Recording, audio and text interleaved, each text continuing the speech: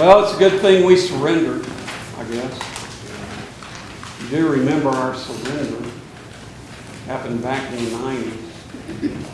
You know, the war started back in the 60s, the war on poverty. Remember that? Our nation was going to rise to the challenge and eradicate poverty. We fought gallantly. And William Jefferson Clinton, he signed the uh, armistice that ended that war in the 90s. May as well, you heard Jesus, poor are always going to be with you. So give up. Why should we try? Right? Well, of course not. We're Christians. We believe in charity. We believe the battle should go on. But the thing is, even though we have so much enmity and hatred towards Judas Iscariot, we follow his methodology for charity.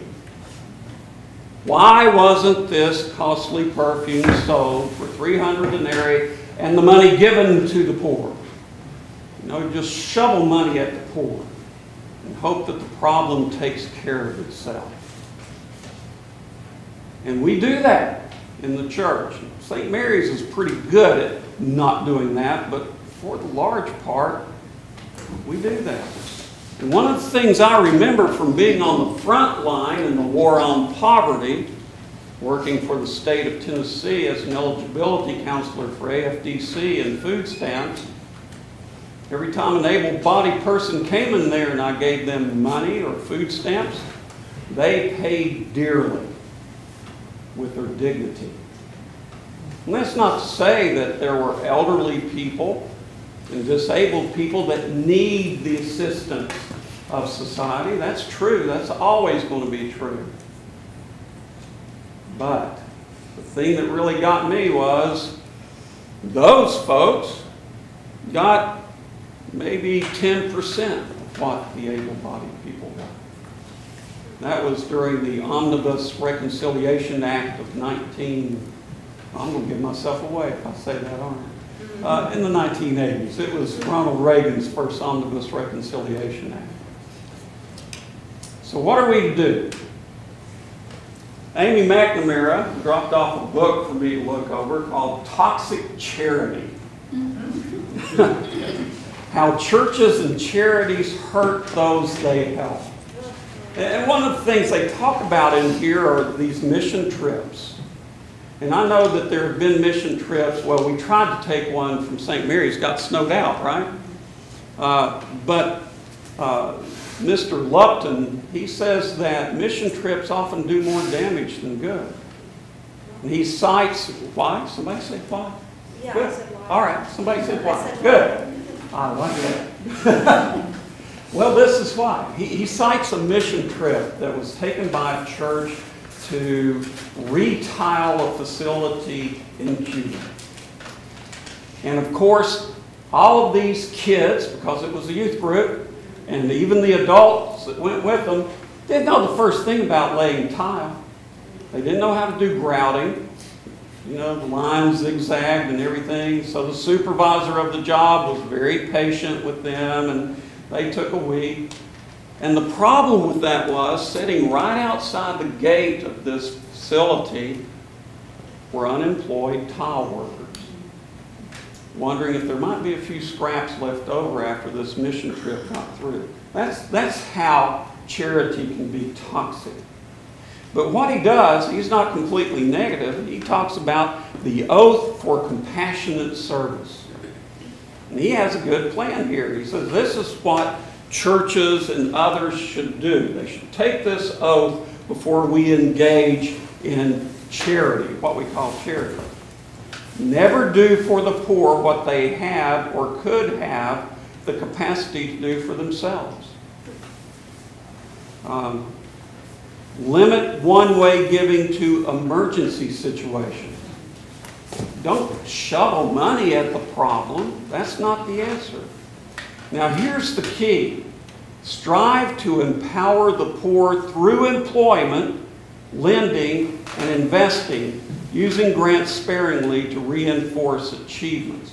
I'm going to stop right there a minute because something happened Friday night that just caused me to seize up almost. I was at uh, the food bank dinner where they recognized Tom Lawler. You know Tom Lawler? A lot of you may not, a lot of you may. He comes to the 8 o'clock service. They were recognizing him for many years of service to the Westchester Food Bank. And one of the executives of the food bank got up and said, um, was going through the checkout line at the A&P. I was on my way home, grabbed a rotisserie chicken. I was tired. I didn't want to fix dinner. So, you know, I did the rotisserie chicken thing and I was going through the checkout. And the woman noticed that I had a little badge, or I was wearing my badge that said, you know, food, food pantry. And she said, Can you help me? Can you help me? An employed person in this country, can you help me? What is wrong with that picture? And, you know, I looked at the stats in, in the book they handed out, the little booklet. Oh, it turns out that I think something like 41% of the people that use the services at the food bank have at least one person that is employed full time. There's a moral failing here. There's a moral failing. And it's not just yours, it's mine. It's all of our failing. How can that happen? What's happened to a living wage in this country that brings with it dignity? And not just dignity, the ability to borrow, the ability to invest, the ability to participate fully in society and in community. That's eradicating poverty. That's where the war on poverty should be fought.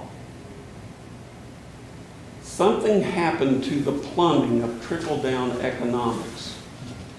There's a clog somewhere. And I'll tell you what the problem is. This country has a value of wealth assessed at $57 trillion. That seems like a lot. Out of that $57 trillion, 47% of it is controlled by 1% of this population.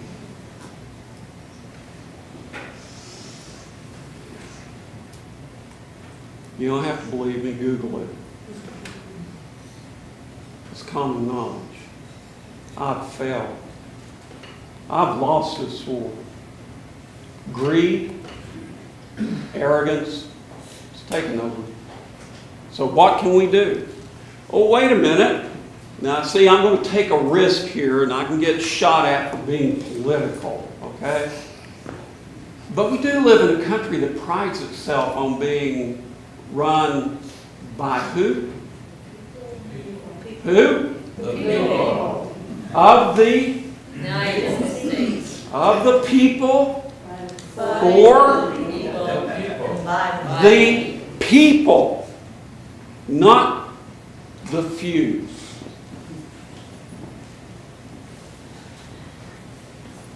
So who's responsible for the situation we're in now? The people. The Judas method of charity will only perpetuate destructive cycles of poverty. Shovel money at it. And what I'm hearing in this economy, political system today is let the churches take care of it. We're having trouble taking care of ourselves.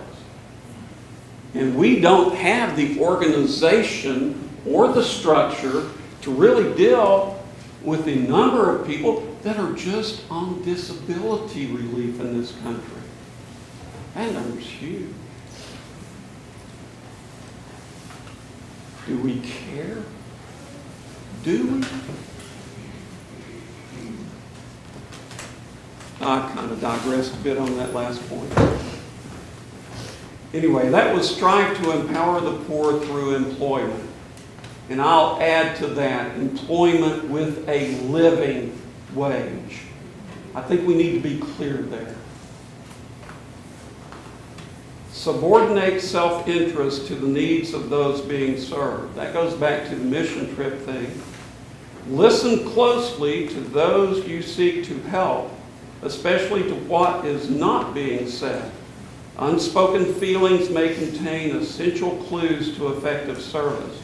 Because one thing, he goes on in here and he talks about if there's a single mother who is also working and she needs to take her child to a clinic, even a free clinic, when are those usually open?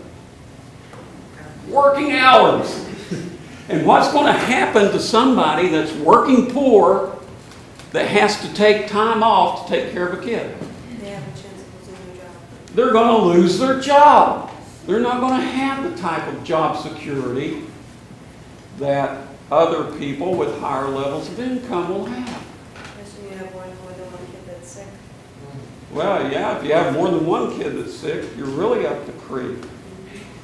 So that person who's receiving benefits from this charity-minded organization is not likely to say, you know, if your hours were from six to ten in the evenings, that would probably help us out a lot better. They're not going to say that because they might just lose those services too.